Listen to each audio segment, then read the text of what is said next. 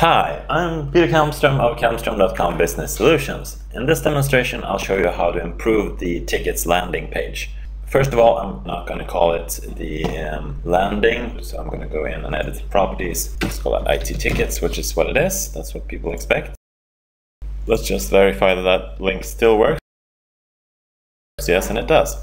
So now I'm going to modify that page. I'm going to uh, change the text layout to have a um, one column with a sidebar. Let's just put those links that I created previously and put them up there instead. I think that looks better. And then put a bullet on that one too.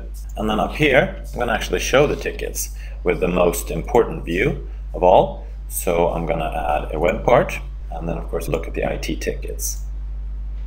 And the most important view of all, hmm, that's of course debatable, but you can change it from here. I'm going to scroll up and look at the um, edit web part. And I'm going to select the My Issues. I think that's probably the most useful one.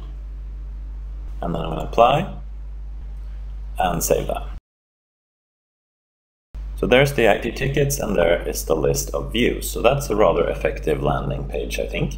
And of course you can start working from here uh, as soon as you select an item in the list or in the web part here, you can uh, work from all the list settings and all the uh, tabs that are available here. You do need to select something though, and that's a bit of a bit of an issue, but uh, that's the way it is. I'm going to continue improving my landing page by adding a graph down here also, but that will have to be my next demonstration. Thank you for watching this demo.